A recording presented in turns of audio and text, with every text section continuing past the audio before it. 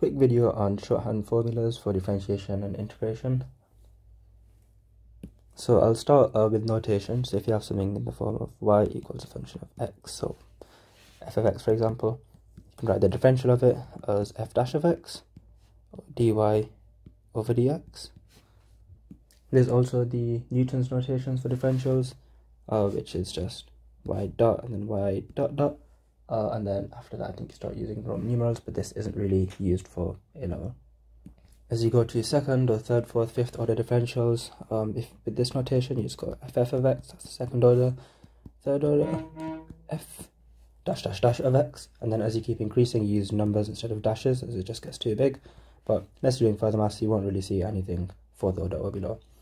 dy over dx, you get d squared y over dx squared and these numbers just keep increasing. D cubed y over dx cubed so and so. On we'll start with the chain rule for differentiation. This one's useful for um, expanding things especially when the powers get higher. Instead of having to expand the entire thing out you can differentiate it using something called the chain rule. So you start with the power you multiply everything by the power you can put it in brackets if you want. And then now you differentiate the inside of this function over here. So dif the differential of x plus 3 is just 1 and now you copy the inside of that function down x plus 3 and you just chain the power from 3 and you subtract 1 from so you get 2. You just simplify that down, 3 x plus 3 squared. And that works for everything in this form over here. So if you had something like x squared plus 3 to the power of 5, first thing we do, multiply everything by the power. Second thing, differentiate the inside, get 2x over here. And after that, just copy this down, x squared plus 3, subtract 1 from the power, and we get 4. The next method is something called a product rule, and this is especially useful if you have two functions that multiply together by each other. So if you have something like y equals x plus 2x, you can differentiate both of these terms independently and just add them together. But if you have two things multiplied by each other, for example, for example, x minus 2, x minus 3, we can also differentiate this without having to expand it. Although this is simple, a lot of times you will get functions that are a lot more complicated than this. So for product rule, all you do is label these functions u and v. It doesn't really matter which one you label u and v, unlike some other methods which we'll show later. And write u down. So u equals x minus 2, v equals x minus 3. And now we'll write u dash, which is the differential of this. So the differential of this is just 1. And the differential of this, uh, sorry, this is v dash. The differential of this is also just 1. Now the formula that we use is u dash v plus v dash u. And just multiply these together, just crisscross. So you have 1 x minus 2 plus 1 x minus 3. Slightly harder example, but again, label both the functions. We call this one u, call this one v. It doesn't really matter which is which. So u is 2x squared. u dash is just a differential of that, which is 4x. We'll do v equals x plus 1 v dash differentiate that and you just get 1 and again crisscross just multiply both together. So we get 1 2x squared plus 4x multiplied by x plus 1 uh, in exam conditions you will probably also need to expand this out and simplify them. For example if you've got these two terms over here you'll probably want to take them out of the brackets and multiply them together with both of these functions, it is still possible to differentiate this by expanding it and then differentiating it as you would normally. So I'm going to show you a slightly more difficult example that you wouldn't really be able to do without. So let's consider y equals x sine x.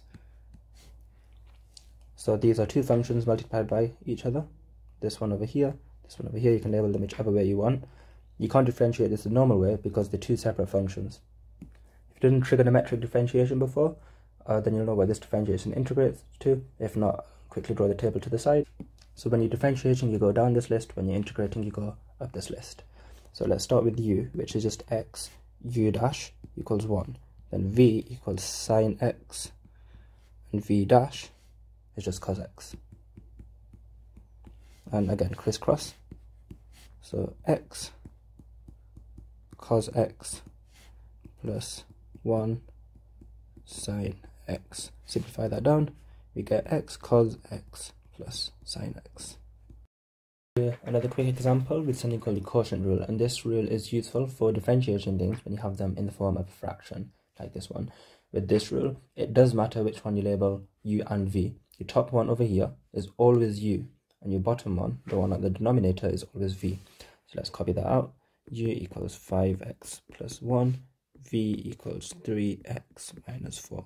And as usual, do u dash and v dash, which for this one is just 5x, sorry, 5, and for this one it's just 3. The rule for this is also slightly different. It is u dash v, take away v dash u over v squared. And as usual, plug everything into the formula. So u dash 5, v 3x minus 4. Subtract v dash u, which is 3, 5x plus 1. And all of this over v squared, which is 3x minus 4 squared. Can simplify all of this down. And you should get 15x minus 4 times 5, which is 20. Take away 15x. Take away 3 times 1, so subtract 3.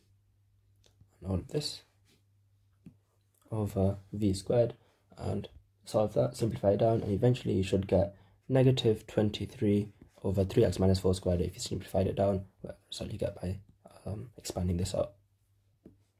The shorthand formula are just a bit easier to remember and write down and make your working out look a little neater and they work really well for differentiation as you don't have a whole lot of manipulation with the variables. With integration you do have a bit more, for example integration by parts when you have u etc or integration by substitution. But again, there's tricks you can use for these to make them a lot simpler to do, but that's a topic for a different video. I'll quickly cover in this video is differentiating e to the x.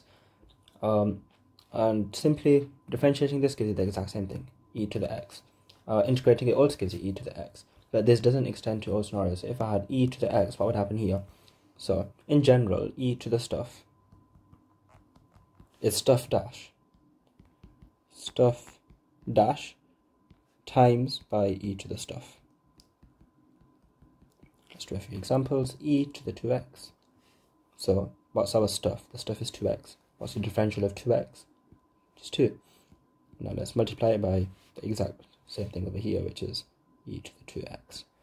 And that is just e 2e to the 2x. This extends for different scenarios too, so if we have e to the x squared, exactly the same method. Differentiate stuff, x squared, x squared differentiates to 2x. Multiply by e to the x squared, and we get 2x e to the x squared. And one last quick thing we'll do is differentiating things that have ln uh, with stuff inside. And this is simply stuff dash over stuff. Let's go through a few examples. Let's start with something simple. What if we just had ln of x? How do we differentiate this? what's our stuff? The stuff is just x. So, you know, it's over x. What's at the top? Stuff dash. Simply just 1. So ln x differentiates to 1 over x. Let's go through a different example. Let's try ln 3x plus 5. And we, so we know it's over 3x plus 5. And when we differentiate it, we do get simply 3. Let's try another one. Let's try ln x squared. So, stuff dash is 2x, and the stuff inside it is x squared. And when you do integration, you can also reverse this to integrate things uh, as a function of ln. Uh, for example, if you had something form of, like, let's say x squared plus 3, x plus 1, because this is just the derivative of that you can write it as a function of ln, again, this is something I'll cover in detail in another video.